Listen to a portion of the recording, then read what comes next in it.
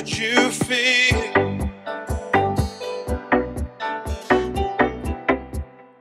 If I told you I loved you,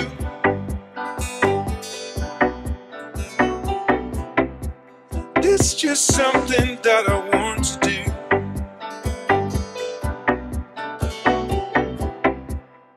I'll be taking my time, spending